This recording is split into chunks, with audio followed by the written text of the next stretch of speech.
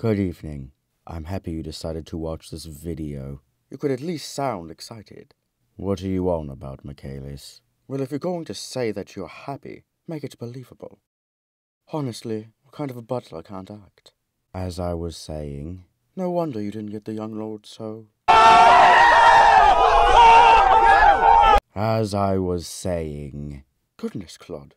Haven't you even introduced the bloody thing? A good butler doesn't rush his sentences. He doesn't wait for another ice age either. Let me take it from here.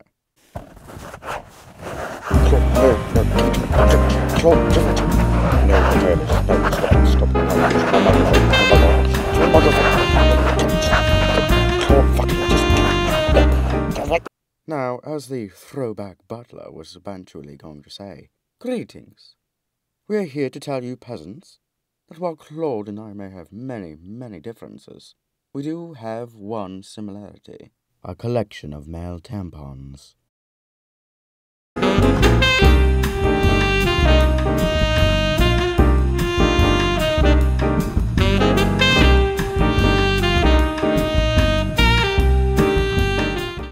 Can we cut that part out? As I was saying before, I was rudely interrupted by uh, sheer absurdity. oh, is it hot in here? Is it just me? It was that uh, we're voiced by the same person.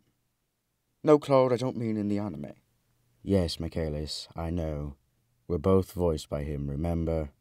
Tamaki, 15% VA, voices us on The Black Butler, Amino, as part of the voice acting crew.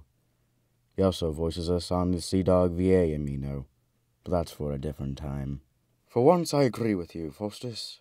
We're just here to introduce ourselves briefly, and that is all. Well, we've certainly done enough of that, haven't we? Indeed. Hello, boys. Do I have the pleasure of fitting you for one of me coffins today? Whoa!